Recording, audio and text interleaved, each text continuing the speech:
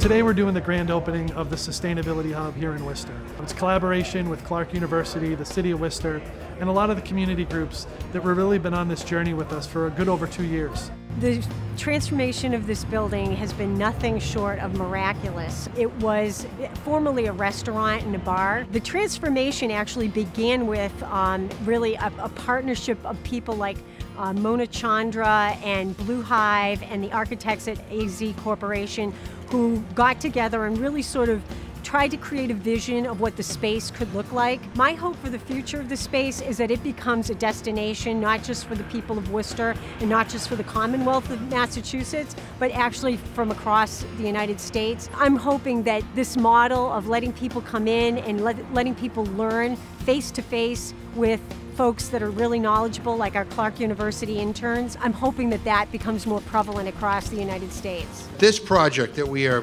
here celebrating today will instantaneously transform this corner of Main South into a national model of sustainability and energy education for the country.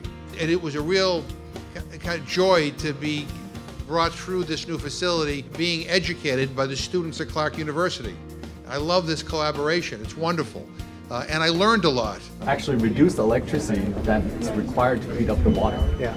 So it's, the points is where it's, it's smart. I immediately imagined doing this tour with literally thousands of parents, prospective students, alumni, and friends of the university from all across this country and all across this world. We are challenging convention by engaging the community in a discussion about energy and providing people with the education and tools to create a more sustainable future. We hope to inspire people to provide basic knowledge about their energy use and to really create conversation with the public around energy and sustainability in Worcester.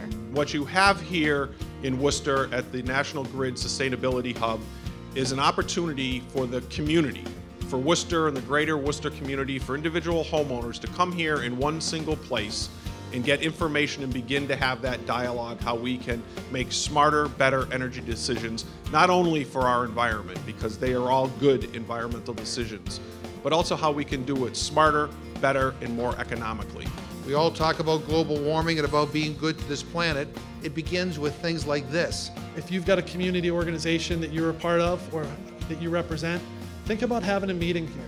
We want to keep the energy going and we want to make sure that we utilize the space to have those conversations around how we're going to use energy in a much more mature way and an efficient way. Everyone deserves access to knowledge about basic energy infrastructure and how to create a more sustainable future. We couldn't be more proud of how this has all come about and it's really just, you know, we're just one more member in the community and that's truly living the here with you, here for you.